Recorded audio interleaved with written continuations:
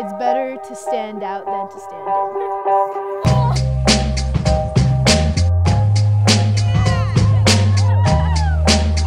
in. In my group of friends, I'm the lit one. I do rhythmic gymnastics and I want to do the best I can and be the best I can. And in school, I want to be the best I can and try my hardest in everything I do. My favorite part of summer is hanging out with friends because I don't always get to hang out. I'm always super busy with gymnastics and modeling and traveling around the world and making memories. I will be remembered as the girl who always wanting to have fun and the one who has a positive outlook on